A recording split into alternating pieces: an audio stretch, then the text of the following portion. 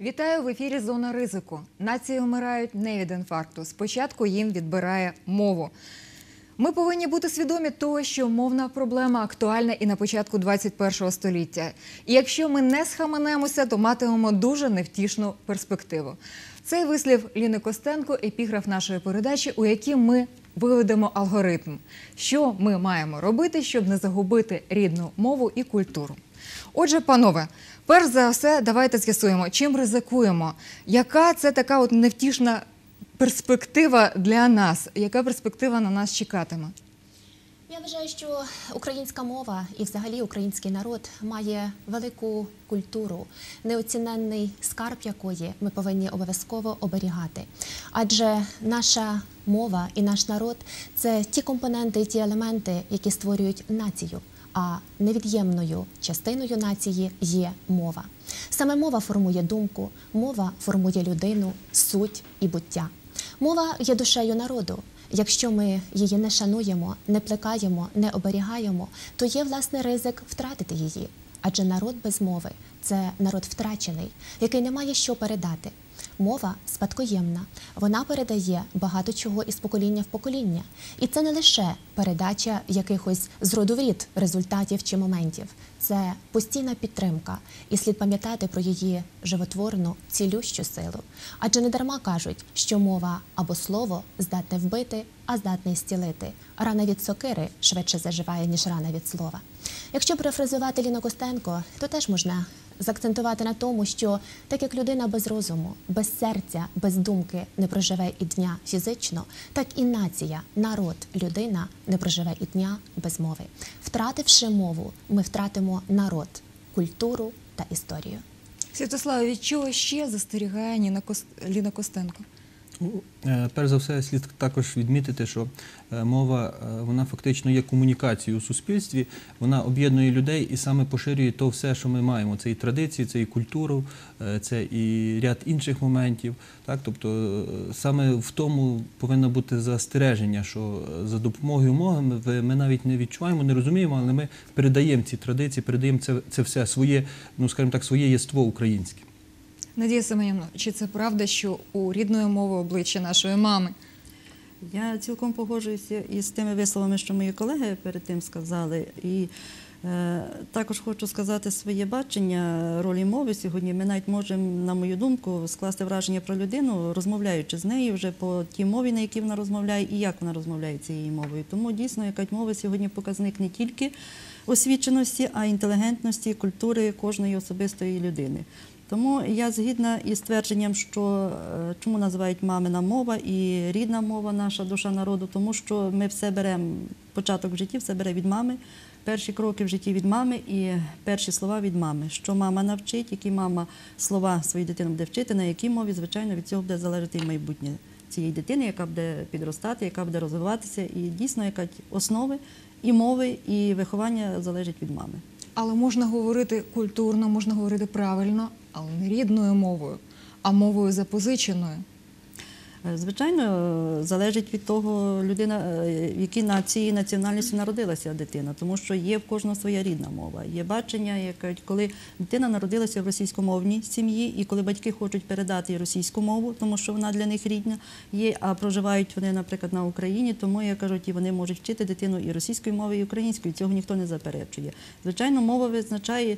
е, Ідентичність нації також, яка від того залежить, хто ми є дійсно на цій землі, чи ми є українці, і хто ми є за нацією, хто ми є за мовою, і хто ми є за освітою, і як ми будемо надалі будувати своє майбутнє. Тому, е, звичайно, що все залежить від ідентичності українців, від е, розуміння ними важливості української мови, тому що на моє е, розуміння нація без мови це не є нація, і держава, якщо немає своєї державної мови, це не нація, яка визначається сьогодні е, свої в суспільстві в е, в світі і не може себе чимось захистити, тому що вона не має своєї рідної мови. Оксана Віталіївна, що можна сказати про людину, яка навчається чужого, а свого цурається?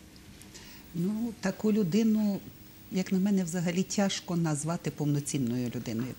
Адже рідною для кожного з нас є та мова, якою ми думаємо. Ми можемо володіти на високому рівні і російською, і англійською, і китайською, але думаємо ми все одно по-українськи. І для мене основний ризик втрати мови це саме втрата цієї української думки. Але щоб навчитися думати якоюсь мовою, треба певний час її вивчати, мабуть. І наше от покоління, моє покоління, коли ми більше можливо спілкувалися російською мовою, а потім активно почали вивчати українську, особливо ті, хто приїхали з півдня і зі сходу. Якийсь час ми думали російською, але потім відбувся процес трансформації. І зараз я можу сказати, що думаю українською мовою. І мені сняться українські сни. Пані Валентина, е, мушу звернути вашу увагу на те, що, е, мабуть, в школі ви все-таки вивчали українську мову, але просто слухати вчителя цього замало. Треба жити там, де більшість, а краще всі, говорять, думають, живуть по-українськи.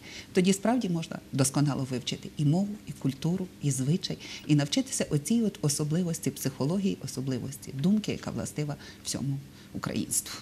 Пані Майя, лише ви ще поки що не висловили в цій студії свою думку. Е, Про що говорила Ліна Костенко, від чого застерігала, що, на ваш погляд, дійсно може нам загрожувати, адже наша передача це зона ризику. Нам може загрожувати тільки масовізм, оскільки мені довелося потрапляти після завершення навчання у виші у російськомовне середовище, і там за певний період часу абсолютно легко адаптуєшся у той мовний режим, у той мовний процес, і навіть не помічаєш, коли ти дійсно починаєш думати вже російською мовою. І коли доводилось повертатися додому до батьків, то теж складновато було пристосувати свій артикуляційний апарат до українськомовних лексем. Тому то, от чим більший масовізм, чим більше ем, із засобів масової інформації, десь на розмовному рівні пануватиме інша мова, тим складніше буде для української мови. Це однозначно.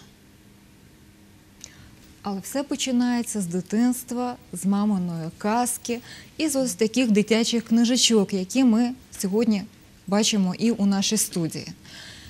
І не можна сказати, що хороших книжечок української немає. Вони є, вони яскраві, гарно оформлені, але часто вражає мова, якою вони написані. Здається, що це переклад з російської, а можливо, з якоїсь іншої мови. Як так сталося, що наші українські автентичні казки перекладаються з іншої мови? Ну, знаєте, про говорити про українську книжку і українську казку сьогодні можна досить багато і об'ємно, і в різному плані, але якщо ми будемо говорити про виховання нашого е, підростаючого покоління на українських казках, то не можна сказати, що у нас немає українських казок, чи немає літературних казок, чи сучасне літературознавство бідне. Я цього не можу стверджувати. Є інша в нас проблема. Якщо говорити про книжку, яка сьогодні присутня в бібліотеці, Е, Це також якесь питання е, можна по-різному розглядати, тому яка сьогодні книжка є і в якій бібліотеці. Якщо взяти сьогодні сільську бібліотеку, звичайно, яка там, е, ну можна там взагалі нема казки української, сучасної. Там наші діти в селі сьогодні виховуються на радянських казках, е, не тільки радянських, а на тих казках, які видавалися в радянський час. Тому що нема поповнення фондів, немає поступлень нових, і тому те, що вони сьогодні мають, це Чуковському і Майдодир. Це в кращому випадку може бути в селі. Це в селі якась можуть бути перекладні також казки або на російській мові, казки А Пушкіна. Мойдодир яка- якою мовою? Це російською мовою, тому що в селі української мови і української книжки сьогодні от такого, наприклад, плану і для молодшого шкільного віку її взагалі немає. Є інший рівень, є в нас районні бібліотеки, де трошки краще, можливо, якась забезпечення, є якесь поступлення, десь вони шукають резерви. Є, наприклад, наша обласна дитяча бібліотека, яка в центрі міста Тернополя знаходиться. Наші діти міста Тернополя, мені здається, не ображені і не можу сказати, що нема в бібліотеках, тим більше не тільки в нашій обласній, і в міських бібліотеках, що немає української казки. Я сьогодні і сучасної української казки. Я сьогодні з собою взяла книжечки наших авторів сучасних і наших, в тому числі і місцевих авторів. Подивіться, які вони яскраві, які вони гарні. Це Марія Чумарна. І то дійсно літературні казки. У нас вони користуються попитом, діти їх читають, якась вони Звідки до вас в яскраві. бібліотеку надходить така література? Ну, це дуже болюче питання сьогодні, звідки вона надходить. Це є позабюджетні кошти, тому що не хочеться сьогодні про сумне говорити. Коштів на придбання літератури немає, коштів на придбання літератури нам не виділяється вже багато років. А це наші власні пошуки, це співпраця з багатьма організаціями, це меценати наші, які нас підтримують. Це якась вдячні жителі міста Тернополя, які приносять, дарують нам свої видання, або якась взагалі мають на, на меті якась посприяти певними коштами своїми. Це є і в тому числі зароблені кошти, які бібліотека на сьогоднішній день заробляє, що ми можемо сьогодні похвалитися, що в нас от є такі видання гарні, у нас яскраві книжечки, це сучасні автори, це знову ж Леся Воронина, наша яка українська письменниця. Тут є представлена і наша землячка Оксана Небесна, яка видала Уйкомену, яка також літературною мовою видано, все гарно, яка все яскраве, все цікаве. І Тамара Крюкова, ви ж бачите, що книжечки, які хочеться взяти в руки, вони яскраві, вони цікаві. Класик наша, як ми називаємо, Оксана Іваненко. Чудові, гарні книжечки, чудове, гарне оформлення. Бачите, книжечка є. Є книжки, які можна сьогодні. Це і також класик у нас е, Всеволод Нестайко. Надзвичайно велика серія його книжок, видань, яка, слава Богу, працює, видає, яка і це ми можемо запропонувати Надія нашим Семенівна, дітям. Ви, напевно, е, під час зустрічі з цими письменниками, яких ви назвали, з ними спілкувалися і не раз у них запитували, яке заохочення за те, що вони пишуть українською, за те, що вони видають ці книги, напевно, також е, вкладають якісь кошти у те, щоб е, видати. Ну, розумієте, державний такий, всі в нас жаліються, і письменники жаліються, і як ми, бібліотекарі, всі ми жаліємося на брак коштів. Письменники, яка, щоб видати книжку, яка це також не кожне видавництво піде на друк, і є певні свої вимоги видавництв, і також і художники, які оформляють це будь-яке видання, яке вони беруть дуже великі гонорари художники, щоб яскраво оформити. Тому і в письменників є свої проблеми, щоб видати, надрукувати книжку. І видавниці, яка також, тому що вони також хочуть презентувати свою книжку якісною і поліграфічно, і щоб це було, як кажуть, е, е, дійсно та книжка, яка буде продаватися. Тому що, е, якщо говорити про наше видавництво, їхня основна мета це зароблення коштів. І чому яка сьогодні попадають в наші бібліотеки не завжди якісна література, тому що яка йде питання зароблення коштів, щоб їм виживати, і тому вони друкують без е, будь-яких е, зауважень чи яка без будь-яких рецензентів, щоб хтось яка сьогодні зробив е, висновок, чи ця книжка дійсно цікава для дитини, чи вона щось повчає, чи там щось мудре, чи вона грамотно надрукована, чи там літературна мова. Цього ніхто в видавництвах не визначає. Нема такого критерію. Їх яка Надія основний. але напевно в бібліотеці, перш ніж поставити на поличку, є певні критерії, за якими ви оцінюєте, чи це якісна література, чи ні. От, власне, що це за критерії і хто оцінює літературу? Ну, ви знаєте, в першу чергу ми бібліотекарі є такі люди, що ми любимо все читати, інакше б ми не працювали в бібліотеці. Перш ніж книжка попадає в бібліотеку, вона, коли ми на полиці бачимо, ми її читаємо. Зміст переглядаємо, дивимося. Тим більше, що ми знаємо авторів, вже ми знаємо, орієнтуємося в тому полі книжковому, що сьогодні видається. І ми вже, наприклад, знаємо, тим більше в нас звичається постійно запит наших читачів, які в нас проводяться опитування. Коли якась навіть приходять батьки з малюками, вони також замовляють свої книжки, в них є свої бачення. Вони їм подобається. Ми вже знаємо асортимент, яка також що, що цікавить сьогоднішніх дітей, і що яка батьків цікавить, що вони хочуть, щоб їхні діти читали. Тому якась ми вивчаючи цей попит, ми і формуємо свої книжкові фонди і свої багатства з Є і так звані полички, на яких є така література для Звичайно. обміну. Звичайно, От, яка власне, це- яка література користується найбільшим попитом?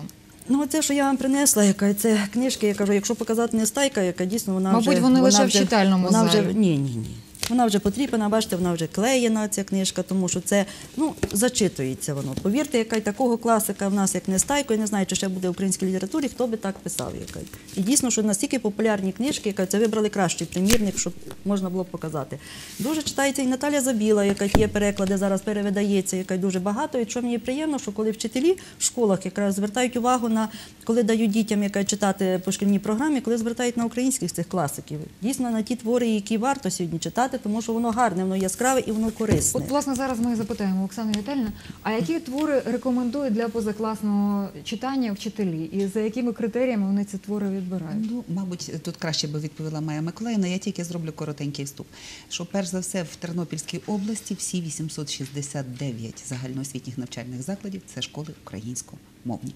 Відповідно, е, постачання шкільних бібліотек проходить е, в основному е, творами на українській мові. Більше того, я навіть бачу деяку проблему в тому, що вивчення зарубіжної або як тепер кажуть світової літератури проходить по хрестоматіях, в яких не завжди бувають вдалі українські переклади відомої світової класики. Тут десь е, треба було би ще допрацьовувати, е, залучаючи більш знаних фахівців саме в галузі перекладу для того, щоб прищеплювати дітям любов до саме такої високої поезії, високої прози. Майя Миколаївна, проконсультуйте, будь ласка. У, сьогодні, у сьогоднішніх загальноосвітніх закладах є три е, способи, як ознайомити учнів із сучасною літературою. Перший спосіб це уроки позакласного читання, але, на жаль, там вчителі трошечки обмежені, оскільки у навчальних програмах з української літератури вже зазначено перелік творів, які можна виносити для позакласного читання. Учителі орієнтуються е, з огляду на те, що вони читали, чи доступний цей твір для них, і наскільки дітям цей твір доступний, чи наявні відповідні книжечки у сільських бібліотеках чи у шкільних бібліотеках. І наскільки ця проблема розроблена методично. Чи можна почерпнути чийсь досвід, бо не завжди є достатньо часу для того, аби підготувати цікавий оригінальний урок. Це перше. Друге, уроки літератури рідного краю. На таких уроках ми вивчаємо творчість письменників Тернопілля. Е, Створена програма літератури рідного краю, схвалена управлінням освіти і науки, яка сьогодні працює. Створено навчальне методичне забезпечення і конспекти для вчителів, і хрестоматія з літератури рідного краю. Знову ж таки, е, знайомство із творами письменників Тернопілля обмежене певними програмними нормами. А от все, що хвилює, цікавить по-особливому і учнів, і вчителів, виноситься на позакласну роботу. От там поле діяльності не зоране, і там, власне, ще цілина. Можна проводити все, що хто бажає, і в формі доступній, зрозумілій для певної категорії і вчителів, і учнів. Е, Це перше. Е, Окрім того, сучасна книжка сьогодні дуже широко попу- популяризується і на всеукраїнському рівні, оскільки з Надією Семенівною ми мали змогу два роки поспіль проводити в межах області конкурс Найкращий читач України.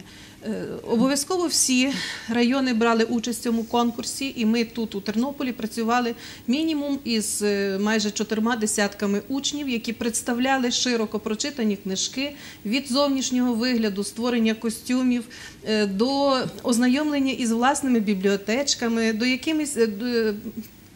Супроводжували цей виступ і своїми виробами з паперу, з інших матеріалів. Е, Тобто це свідчить про те, що наші діти сьогодні читають до того ж зміст творів абсолютно різний від літератури, яка призначена для дорослих, і до дитячої літератури. Це були в основному діти 5-6 класів. Сьогодні в Україні проводиться ось уже третій рік поспіль конкурс е, Найкращий відгук на сучасну дитячу прозу для учнів 3-4 класів. Це теж добрий стимул для того, аби учні читали, бо в межах області учасниками цього конкурсу є не сотні, а тисячі учнів, більше 10 тисяч. Е, Діти пишуть свої відгуки, подають членам журі, і ми, звісно, відправляємо найкращі роботи до Києва. Це проводить видавництво Граніте. І ось уже три роки поспіль в нашій області троє діток отримали комп'ютери. Е, Ноутбуки даруйте. Ноутбуки, так. Святослава, вам доводилося популяризувати нашу українську культуру на сході, зокрема Донецька область, так? І чи там так само вивчають українські твори, чи так само їх там популяризують? Вам доводилось спілкуватися з учнями, мабуть, і з майбутніми вчителями, що вони розказують? Ну, перш за все, слід сказати, що так, популяризують, і напевно, якщо є в е, програмах е, освітніх, так, то вони вивчають їх і дивляться. Але ми в більшості випадків е, молодою просвітою, проводячи такі різні заходи, зокрема вже поспіль 6 років, виїжджаючи з вертепом на східну Україну, і в цьому році це був місто Донецьк і місто Макіївка, ми стараємося більше звертати увагу на неформальне спілку- спілкування показувати десь наші традиції і е, встановлювати ті контакти, які би не закінчувалися, е, ну скажімо так, тим заходом, який ми проводимо. І е, поступово це вдається. Дуже добре, що є ряд конкурсів різних програм, до яких долучаються діти, і за допомогою них фактично мова десь ну принаймні є на тому рівні, якому є зараз. Але водночас то неформальне таке спілкування між молоддю, такий якийсь е, обмін е, різними традиціями чи обмін просто якоюсь інформацією, він дає дуже багато і також дає розвиток. А власне, оце неформальне таке спілкування, воно якою мовою відбувалося?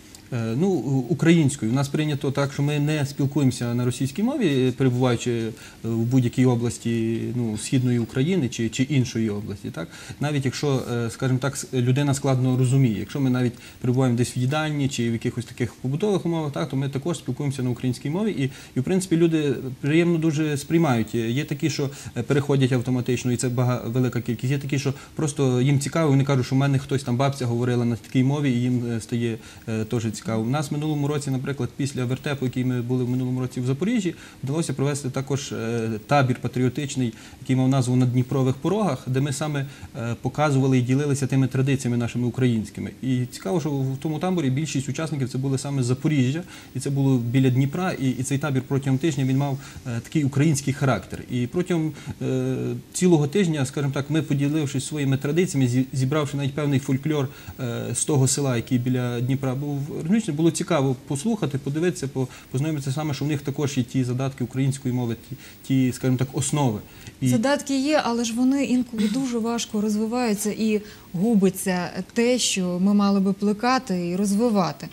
На ваш погляд, люди, які розмовляють суржиком, і взагалі сам суржик, Ну, це, е, до речі, слід ставити до кожної людини такі зауваження, бо ми е, кожен можемо десь у певний час проаналізувати свою мову, проаналізувати е, свою діяльність і побачити, що ми помиляємося і можемо робити не так, і, ця мова може бути суржиком чи, чи з чимось. Є така І- думка, що це не так вже і страшно, бо це перехідний етап від російської до української. Згадайте Арбєніну, яка намагалася вивчити українську мову, і от вона хотіла зробити комплімент, сказала смажена красуня а, замість і Всі сміялися. Тобто є якийсь певний етап, коли людина вивчає мову і робить помилки. Просто кожна Чи людина повинна- розділяєте ви цю думку, чи ви можете її все ж таки Е, заперечити? Ну, звичайно, але кожна людина повинна е, розвиватися, прагнути в своїй мові. Ми навіть можемо е, згадати, як ми пишемо зараз дуже часто смс чи соціальні мережі, де ми використовуємо листування, і наскільки ми там е, якісно прописуємо і пишемо мову, порівнюючи з тими листами, які були там ну, 10 чи 20 років тому, які були грамотніші і зовсім інші.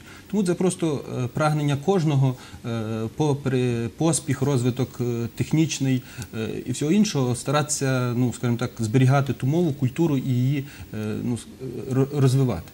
Оскільки ми вже почали про естраду, і напевно, що згадаємо і про ведучих телебачення, подивіться, скільки зараз російськомовних ведучих на наших каналах. І переважно це ті, хто е, успішно вів е, ті самі програми і в Росії. Е, І вони не спішать вивчати українську мову. Як ви до цього ставитесь, пані Майя? Все очевидно залежить від потреб слухачів і глядачів. Оскільки сучасна молодь е, споживає, скажімо, всю продукцію, і створену російською мовою, і створену іншими іноземними мовами, тому то для них це не дивина. Вони призвичаються до сучасного світу так, як можуть, діють відповідно до обставин.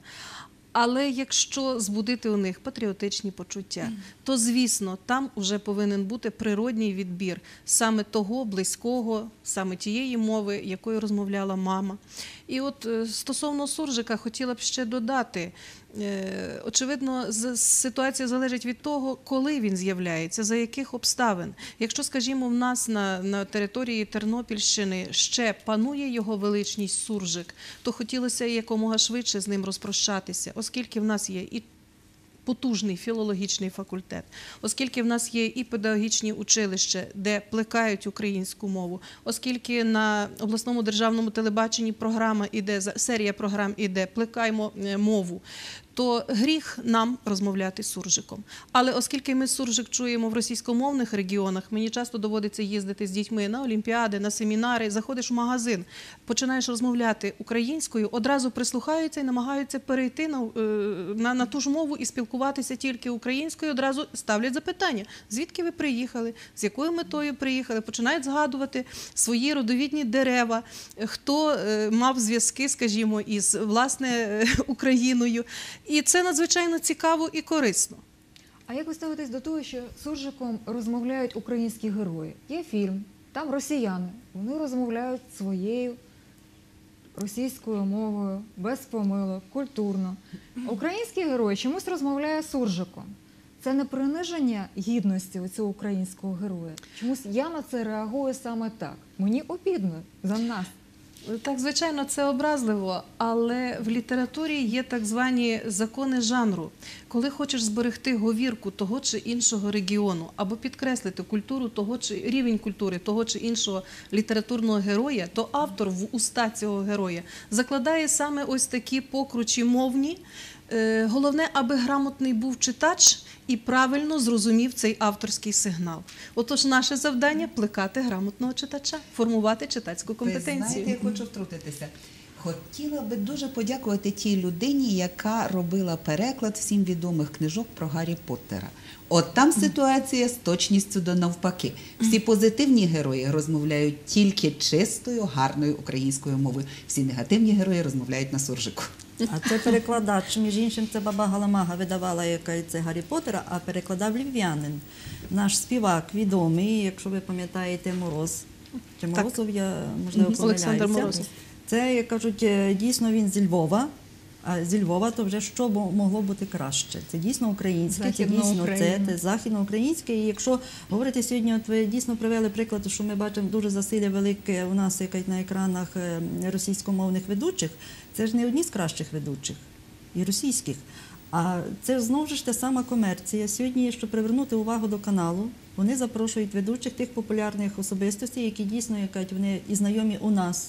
Завдяки телебаченню, яке у нас все, все одно ж таки російськомовне, ми знаємо більше російських і передач бачимо.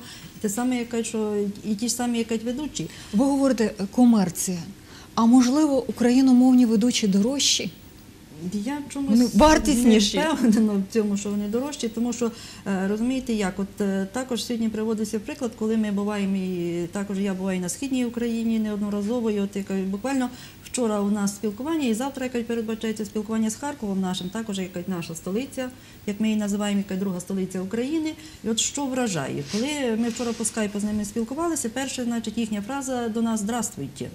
А я одразу відповідаю добрий день, і тому що я знаю колегу, з ким я розмовляю, а чому ти розмовляєш е, російською мовою? І тут же ж вони переходять на українську мову і починають з нами розмовляти українською мовою.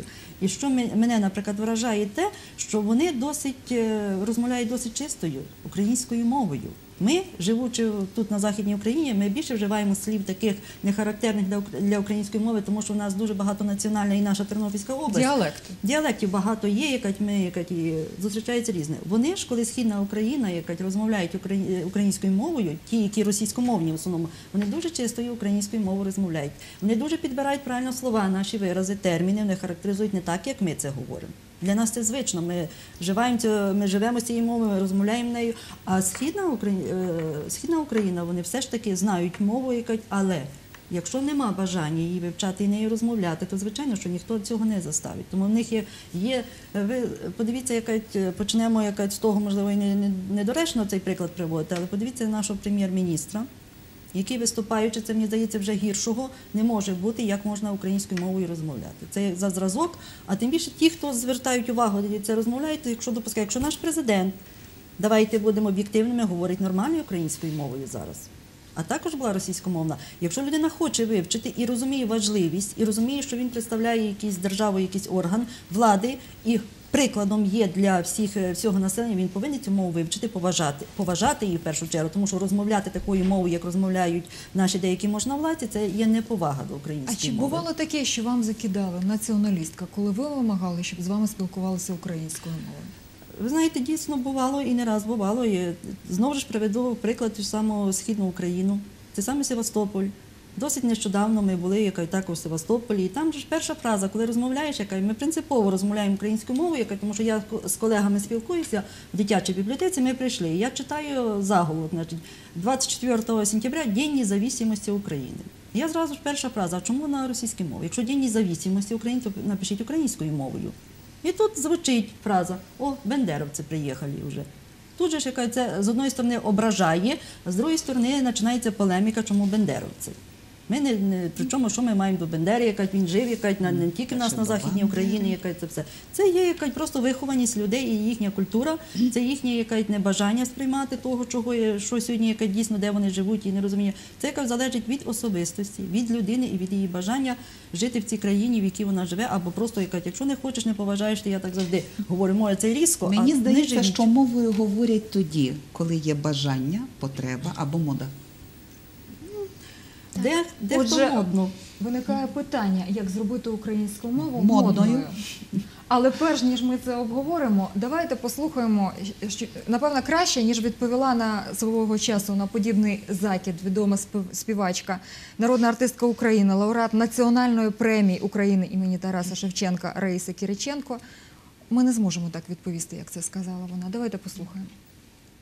кожна людина повинна берегти свою мову, якось її, е, можливо, якось і розвивати, а можливо, хоч зберегти те, що є, не втратити, не, не розгубити її, не розвіяти її. Якщо ми є держава, вже якщо ми є країна, Україна, ви ж слухайте, яке слово красиве, Україна. Це просто я не знаю ще, що може бути краще.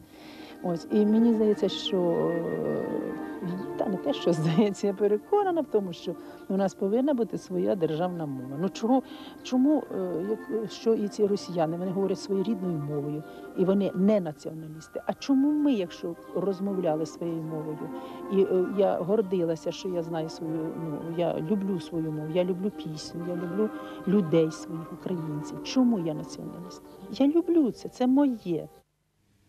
Сьогодні Раїси Кириченко немає з нами. Хто любитиме своє, хто збереже українське, хто встановить ось цю моду на українське? Я вважаю, що тільки ми самі можемо формувати і культуру, формувати рівень, формувати взагалі якісь ті норми, догми і правила, якими можемо запропонувати користуватися іншим. Зокрема, працюючи зі студентами у вищому навчальному закладі, я б сказала, що у них рівень мови досить високий.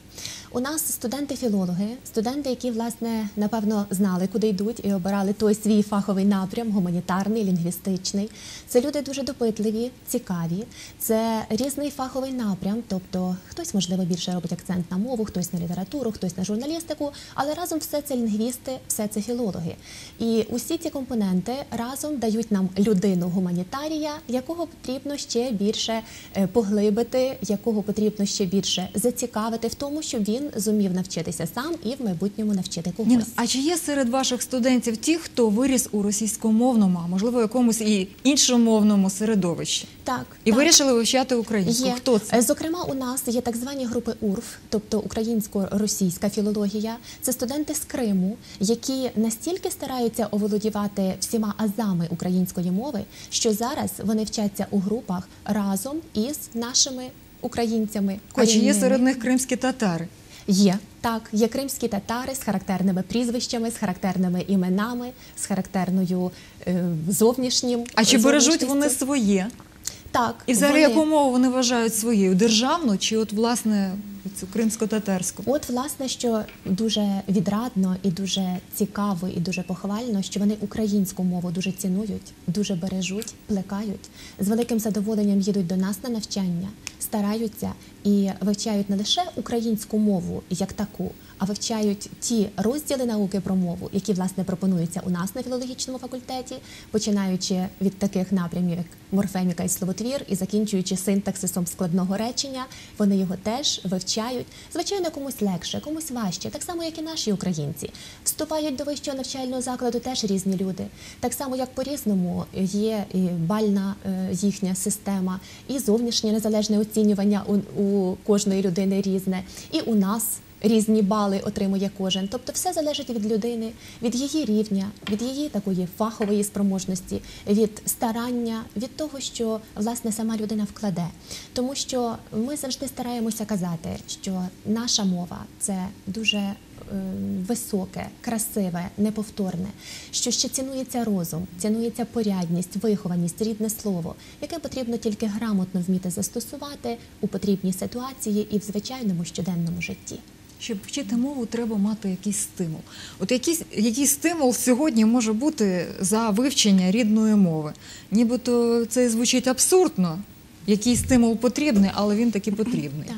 Ну, до нас вже потрапляють носії мови, корінні українці, і власне ті люди, які вибрали, можливо, для себе філологію навіть як майбутню професію. Тобто наші студенти знають, що вони повинні вчитися так, щоб пішовши, починаючи з практики, потім продовжуючи вже роботу у школі, чи можливо хтось піде в аспірантуру, там вже у кожного дороги різні. Було так, щоб вони, по-перше, орієнтувалися в тому, що пропонується. По-друге, щоб вони зуміли передати свої набуті знання комусь, і власне, щоб знали, що не все оце намарне, що вони вчили, готували, старалися. І власне, якщо запропонувати те, які студенти у нас навчаються, і те, е, що вони можуть у нас почерпнути, то звичайно не можна сказати, що вони не мають літератури чи не мають можливості користуватися нею. У нас прекрасна бібліотека. От, власне, що це за література? Так, ви але ви також от я хочу представити якраз не тільки от книги, які можна взяти в бібліотеці, а звернути увагу на те, що е, мова, філологія, лінгвістика це такий напрям, який дуже змінний. Хоча кажуть, що е, синхронія мови це останні 50 років, але все-таки акцентувати на тому, що дуже багато є лінгвістичних шкіл, є дуже багато різних академічних видань, різних фахових, які можливо будуть колись важчими, колись легшими для студента, для того, який вчить, старається і не просто читає, а й повинен фахово це сприйняти, розділи науки вивчати. І тому, власне, е, професорсько-викладацький склад нашої кафедри на чолі із завідувачем кафедри панцю Стефанією Лисеєвною випускаємо свою наукову продукцію. Зокрема, я хочу представити різні види завдань, адже це не тільки заняття і не тільки підготовка за лекціями, це і тестові завдання, це і індивідуальні науково-дослідні завдання, розроблені завдання для самостійної роботи, електронні завдання, використання мультимедійної техніки, система Moodle, яка входить зараз у наше життя і пропонується теж в контексті болонського процесу, е, дуже актуальною є. Е, Кредитно-модульна система, коли шляхом нагромадження балів студенти можуть отримати свій кінцевий результат. Тобто, все те, що відрізняє, можливо, і від загальноосвітньої школи, від 12-бальної системи, оскільки в нас 100-бальна за болонським процесом. Це навіть перехід від такого, от спочатку домашнього, потім садочок, потім середня школа загальноосвітня, а тоді вже вищий навчальний заклад, який Так, власне, я і хотіла зауважити, що все те, про що ми говоримо, це для тих, в кого вже вищий рівень Так, от, мови. так, це вже Але вищий я рівень жодного мови. разу не бачила оголошення в тролейбусах або на зупинках. Навчаємо української мови. Італійська, англійська, польська, Так. будь-яка. Куди людина їде на заробітки, ту мову вона вивчає. Виникає питання: можливо, треба для наших студентів створити такі умови, щоб вони залишалися в Україні, і тоді вони будуть поглиблено вивчати українську. Принципі, так, звичайно. Якщо людина буде бачити, що в неї є перспектива, якщо людина буде бачити, е, що все, що вона робить, не намарне, і воно справді приносить якісь результати. Багато хто звертає увагу на матеріальне, багато хто звертає увагу на те, що з цього буде мати. Але е, власне філологія це той напрям, такий чистий, високий, гуманітарний, який вимагає душі і серця. І не завжди те матеріальне, не завжди буденне перемагає. Власне, давайте тому- згадаємо діаспору. Так, діаспора дуже цінує. Це якраз Діаспора ті люди, які бережуть мову, які Так. видавали от перші словники. Так. Перші словники, за якими навчалися в пострадянський період, вони Так. були видані діаспорою, як це не дивно. Так, як цим людям вдалося наші. зберегти рідне. Так, і діаспора дуже цінує наші матеріали. Зокрема, я теж хочу представити монографії викладачів нашої кафедри, зокрема професора Вільчинської Тетяни Пилипівни, і моя монографія, яка теж вийшла динаміка антропонімікону міста Тернополя. Тобто, е, це вже такі наукові видання, які допомагають студентам навчитися правильно писати науково, які допомагають. Подивитися, які можливості відкриваються для них, опрацьовуючи літературу для курсових, дипломних, магістерських робіт. То вже це нас це вже наукова мова, можна сказати. Е, Дуже приємно, що е, ми і е, наш професорсько-викладацький склад прагне допомагати студентам в тому, щоб вони найпотрібнішою літературою користувалися. Тобто багато є всього, але із того всього, що пропонується, можна вибрати те, що буде найбільш корисне студентам. Студентові. Тобто це навчально-методичні посібники, це матеріали. І, зокрема, студенти мають можливість навчатися Від ось себе. за різними Від себе показуйте, Так, будь ласка. Вони можуть вивчатись е, за ось такими навчально-методичними матеріалами, зокрема морфеміка і словотвір, сучасна українська літературна мова, морфологія, розроблені авторами, Отже, за тих, хто буде потім викладати українську мову на сході, на півдні у русифікованих містах, чи правильне слово русифікованих? Російськомовних, очевидно. російськомовних, мабуть. За них ми спокійні. А коли ми говоримо про стимул до вивчення мови, хочеться згадати от про конкурси. Зокрема, про конкурс Яцика. Давайте сюжет переглянемо. Міжнародний конкурс української мови стартував 9 листопада. Щороку його учасниками стає більше учнів та студентів. Ми у цьому році мали на першому етапі порядка десь 31 тисячу учасників, в тому числі десь порядка тисяча студентів вищих навчальних закладів взяла участь в цьому конкурсі. Приємно нам те, що на нашій в нашій області, яка завжди була найбільш українізованою, і за часів ще е, давніх е, є е, попит, бажання вивчати досконало нашу рідну мову. Другий рік поспіль конкурс проходить у Тернопільській українській гімназії імені Івана Франка. Я вважаю, що українська гімназія і наша українська мова це синоніми. І десь е, українська гімназія наша асоціюється з нашою рідною мовою. Тому ще раз я вітаю всіх і бажаю, щоб сьогодні діти показали як найкращі результати. В останньому четвертому етапі випробування взяли участь понад 40 жителів області. Завдання вони виконали в Тернополі. Роботи журі перевірятиме у Києві. Хоч конкурс проводять у різних країнах, його правила незмінні. За словами організаторів, конкурс Петра Яцика не шукає лінгвістичних геніїв. Чим більше шанувальників української мови, тим ліпше. геніїв знаходять в олімпіадах. От, і конкурс з олімпіадами не конкурує. І ми е, впевнені, що конкурс свою позитивну справу зробить. За цей час, за 12 років, ми побачили стільки героїв конкурсу на сцені театру імені Івана Франка. Інколи сидиш в залі, дивишся і думаєш, ось він генофонд нації. Оце завтрашня Україна тут стоїть. Для учня 7 класу Бережанської загальноосвітньої школи 1-3 ступенів Павла Кучнічука брати участь у конкурсі Яцика і перемагати традиція. нові враження, нові відчуття, нові виконуєш завдання, е, отримуєш якісь знання, якийсь потенціал новий від твій відкривається. Переможці отримують звичайно цінні подарунки від е, там книжки, диски з різними записами е, з української мови. І звичайно, в школі потім легше вчитися. Усі учасники третього етапу конкурсу отримали подарунки. Цього року на придбання призів витратили майже 16 тисяч гривень. Переможцям останнього етапу традиційно призначать президентську стипендію. Під час підготовки цього сюжету мала нагоду поспілкуватися з Михайлом Слабошпицьким. І е, на його думку, конкурс Яцика у нашій країні і е, загалом останнім часом в нашій області проводиться не на потрібному рівні. Як ви думаєте, от чому, чому Михайло Слабошпицький так думає? Якщо ви дозволите, то я собі візьму слово. Мабуть, ви з ним спілкувалися все-таки до того, як він побачив саму організацію проведення конкурсу Яцика. Так, це правда. І, зокрема, наказ управління освіти і науки обласної державної адміністрації про проведення конкурсу у 2011-2012 навчальному році, є номер і дата якого передують е, номеру і даті листа Міністерства освіти про проведення цього конкурсу. І Михайло Слобошпицький зазначав, що могла відбутися підміна. Замість конкурсу Яцика міг бути зовсім інший конкурс. Це по всій Україні конкурс Шевченка. Він казав, нам потрібний не один конкурс, нам потрібно їх багато. Власне, скільки конкурсів нам потрібно на вашу думку, і скільки їх є в нашій області? Звичайно, кожен хвалить своє дітище. Так само Михайло Слабошпицький хотів би, аби це був єдиний конкурс, аби якомога всі перевернули до нього Власне, увагу. він хотів, щоб був не єдиний. Він казав, нам треба багато Нам конкурсів. треба багато однозначно. Ну, основний, так. скажімо. Ви, мабуть, будете здивованими, якщо я скажу, що станом сьогодні за цей навчальний рік в межах е, України відбувається сім всеукраїнських конкурсів для філологічно обдарованих дітей. Є і заочні конкурси, є конкурси очні на кшталт е, імені Петра Яцика, є інтернет-випробування. Отже, будь ласка, хто хоче, бере участь в будь-якому конкурсі. І е, організатори кожного конкурсу хотіли би, аби в цьому конкурсі брали участь якомога більше дітей.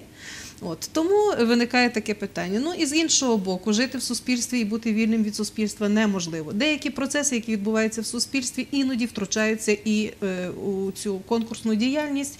Е, хтось перебуває на одних позиціях, хтось на інших позиціях, і з'ясовуються оті міжособистісні стосунки.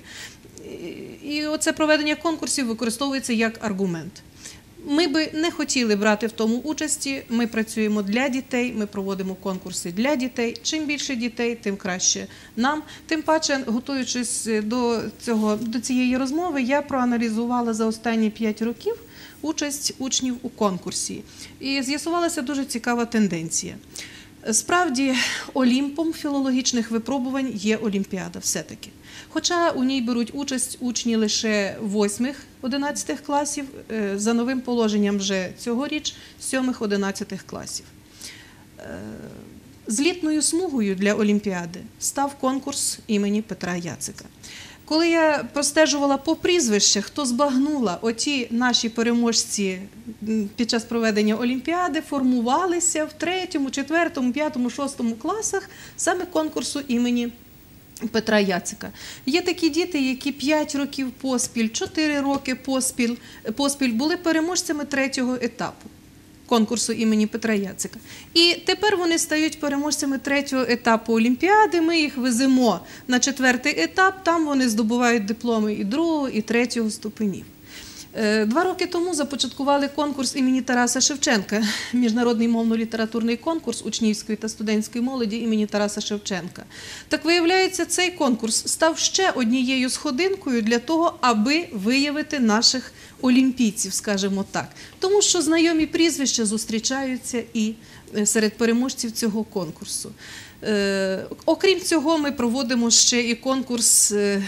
Всеукраїнський конкурс учнівської творчості. Це заочний конкурс. Діти надсилають нам свої твори е, на літературну тематику. І там ті ж самі прізвища відстежуються, простежуються. Тобто починають вони зростати в стінах рідної школи, тихенько про себе заявляють, а далі йдуть сходинками філологічних випробувань. Але панове, мушу зауважити, що поки ми себе репрезентуємо в Києві, поки їздимо по обміну і традиції наші з нашими традиціями ознайомлюються в інших областях, у нас на Тернопілі втрачають інтерес до традицій.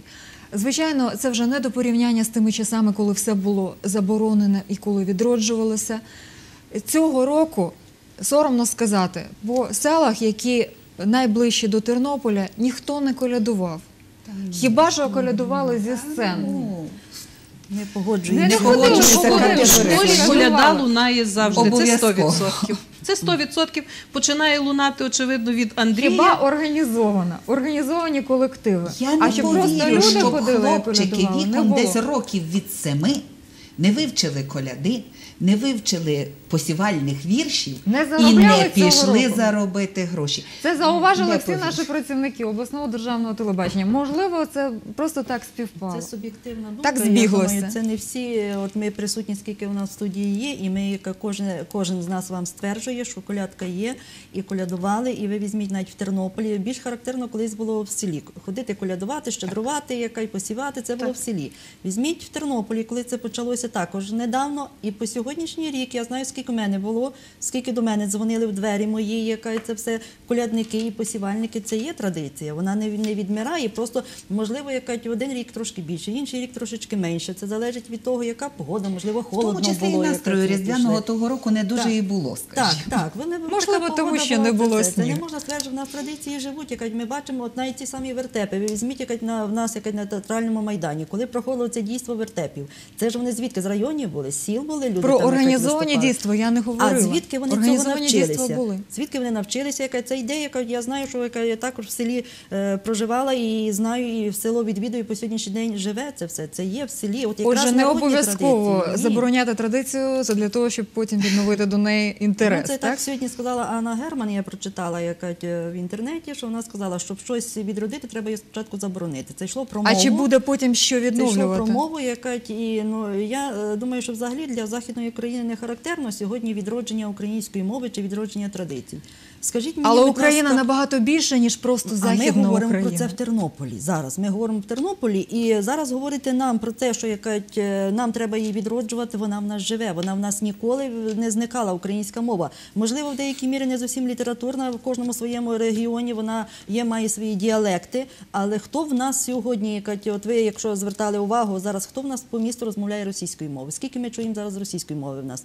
Поодинокі де-не-де випадки, якщо хтось до когось в гості приїхав. Що було раніше? Згадайте, яка років 20 назад, чи хто яка чи так, скільки ми чули російської мови. Тому в нас яка можливо, яка це не характерно для нашого регіону, для нашої області. Це що нам щось треба відроджувати. Воно є у нас. Відроджувати не потрібно. Алгоритм нашої передачі Зберігати зберегти. треба і передавати Отже, це оскільки треба. часу залишається в нас зовсім мало. Кожний по кілька слів. На ваш погляд, от яким мав би бути оцей алгоритм, щоб і надалі зберегти те, що ми маємо, щоб його не втратити? Це залежить насамперед від самої людини. І якщо людина, українець, буде знати, що своє найважливіше, що рідна мова це мова, яка власне виведе її у той вже закордонний навіть світ, оскільки ми навіть не порівнюємо українську та іноземні, бо українська рідна, іноземне це набуте. Його можна вивчити, досконало знати. Але українська мова це рідне. І звертаючись знову ж таки навіть до наукової продукції, слід сказати, що студенти дуже зацікавлені. От, зокрема, у цього словника фразеологізму у творах Богдана Лепкого теж долучилися студенти і повністю карткування зробили вони. Е, Словник виданий і під редакцією завідувача нашої кафедри. І звичайно, я б хотіла додати, що головне для кожної людини це цінувати те, що вже є, оскільки мова спадкоємна. І якщо з роду в рід будуть передаватися ті звичаї, традиції, те справжнє, то воно тоді обов'язково збережеться, бо й наступні покоління передадуть. Тобто, якщо не порвати отої життєдайної ниточки, яка тримає, то тоді все буде гаразд із нашою мовою, і з народом, і з нацією, і ми зможемо впевнено сказати, що ми справжні українці, маємо своє, цікавимося, любимо, плекаємо і дорожимо. Як укріпити оцю ниточку, на яку нанизані намиста, щоб не порвати її, як сказала пані Ніна? Перш за все, е, мені здається, що треба не тільки відроджувати, а ще дуже важливо це розвивати. Тобто, починаючи з кожного з нас особисто, ми повинні розвивати в собі е, знання української мови і закінчуючи в цілому, щоб е, розвивати і традиції, і культуру, тобто, перш за все, розвиток. І можна ну, підійти до якихось таких конкретних методів. Можна, наприклад, сьогодні в цей день купити книжку і прочитати її протягом якогось часу. Можна купити і комусь подарувати, що ти знаєш, що він дійсно її прочитає. Можна відіслати в бібліотеку сільську, знаючи, що вона принесе якийсь результат для тієї бібліотеки. Тобто невеликими кроками можна щось створити і, і прагнути до того розвитку. Ну, Якщо е, говорити якось, е, про збереження української мови, я ще раз хочу наголосити на тому, що в нас є все для того, щоб її зберігати, і ми її бережемо. Але якось все ж таки все залежить від особистості людини, від бажання її бути дійсно громадянином своєї країни. Не можу я ще раз погодитися з думкою, що в нас немає українського, що в нас немає української книжки. Я книжки показала, які у нас є дійсно українські. Е, Наведу ще такі цифри, книжкової палати нашої, значить, що сьогодні видається українською мовою у нас для дітей. 77 у нас журналів видається спеціально для дітей. З них 52 на українській мові виходять журнали. Що ми можемо говорити? 22 виходить російською мовою, 2 англійською. Це статистика говорить. Як можна сказати, що в нас немає літератури, в нас немає якось, що Ми читати говорили, дітям. що вона є, але вона Воно не завжди є, але це все залежить ще раз наголошую від особистості, від бажання бути громадянином своєї держави і дійсно бути гордим за свою державу. Оксана Віталіївна, як зробити українську модною? Мабуть, треба почати гордитися кожен собою. Кожен, кожним сказаним правильно словом. Якщо за кожний русіанізм знімати по балу з учня, А ні, Він по балу почне з учня говорити. ні. Давайте заведемо просто скарбнички для дорослих. І за кожен допущений росіянізм, за кожне сленгове слово стягнуте з інтернету в свою мову, за кожен е, вжитий неправильно спольщений чи онімечений вислів. Давайте будемо туди кидати небагато по гривні. А тоді в кінці року справді це потратити на літературу. Може, то буде отаке от матеріалізація скарбу української мови, але з обов'язковою умовою зразу ж знайти замінник українське правильне слово до того, що ти вжив. Домовились, я сьогодні 3 гривні вже кладу в скарбничку. Я, Я думаю, що якщо переглянути запис, ми тут зберемо досить великі кошти на користь української мови. А загалом для своїх дітей і внуків я колись зрозуміла, що я ну навряд чи я зможу передати щось таке чисто матеріальне і дуже прагматичне. Я зможу передати те, чим я справді володію. Я володію українською мовою і свідомістю того, що я українка. І колись 11 років тому написався такий вірш українській мові, як своєму другові, як близькому. Ти мене колисала, як матуся співала. В Світ дитячий казково ти війшла, рідна мова. Йдуть літа. Ти зі мною в моїм щасті і в болю, ти гірчиш полиново, квітнеш ти калиново, дорога, рідна мова. Найдорожчий у світі скарб віддам своїм дітям, що співа солов'їно, височить веселково. Найдорожчий, безмірний скарб цей ти, рідна мова. І було це в 2000 році. Так. Геніально. Гарно, дійсно. Ну і щоб забрати оцей е, полиновий присмак з української мови, я скажу єдине: під час проведення курсів підвищення кваліфікації вчителів української мови і літератури я завжди закликаю їх запровадити на своїх уроках хвилинки. е, Культури мовлення це як обов'язково. Окрім того, е, у загальноосвітніх навчальних закладах уже модно стало створювати класи з поглибленим вивченням української мови і літератури. Якщо минулого року таких класів було лише 100, то цьогоріч їх уже 140. Цифри говорять про себе. Сподіваємось, тенденція зростатиме на майбутнє. Отже, доля майбутніх поколінь залежить від нас. А нашу передачу хочу завершити українською піснею у виконанні Раїси Кириченко. Мова рідна, звучи в ріднім домі, крізь зболений час і духовні руїни. Вертайся, рідна мова, у серце народу, у душу в країни, якого ж ми будемо племені роду, якщо буде в устах наша мова згасать. Чи будемо з вами тоді ми народом, як стихне вона в голосах,